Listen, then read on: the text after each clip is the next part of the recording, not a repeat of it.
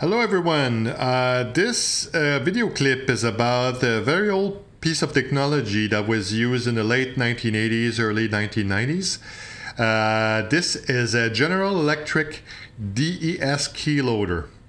What this device does is uh, you are able to uh, create and transfer uh, uh digital encryption keys inside uh, portable and mobile radios, uh, such as these GE MPA portable radios. And you're able to load about seven keys in each of those radios. So, how you would go ahead and create keys, you would press the power button and then you would press the load button. Uh, of course, if there are no keys, it will say key erased. But uh, since I already played a little bit with it uh, today, uh, I already loaded keys into it. But I will show you how to create a key. You would press the load button here. And then, of course, this is bank one. I would select the key space number one. And then I would have the cursor blink and then telling me that I would be able to enter uh, eight uh, digits in hexadecimal format. So this, I would be, let's say I will enter a random key.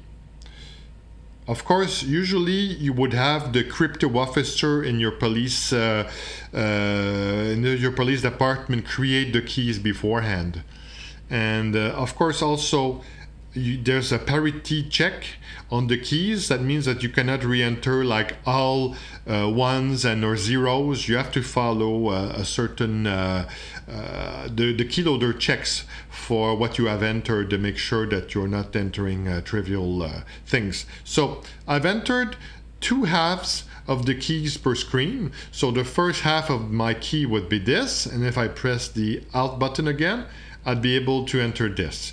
Usually this number will only appear once when you enter the key, when you generate the key or input the key into the crypto, uh, the keyloader.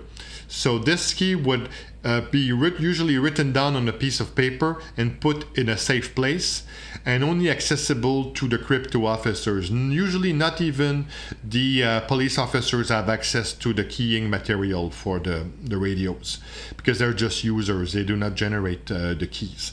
So, how I would go ahead and once I have written down those half numbers, I would press the, uh, the X, uh, EXE uh, button and then it would give me a key loaded key uh, uh, message. Then I am able to load this particular key inside the radio. And of course, if I want to delete, let's say I want to clear the radio, I would have a zero ice key here that would enable me to zero the key that uh, I have created. So I'm able to say, okay, I want to zero key number two I would press exe and then I would I would be able to erase the keys.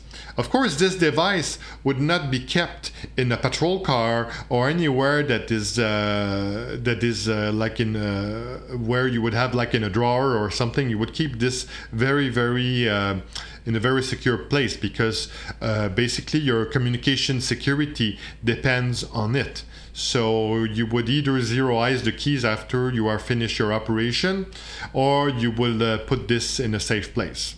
So this is the end of my first clip. Next clip will show you how to load keys inside the radio itself.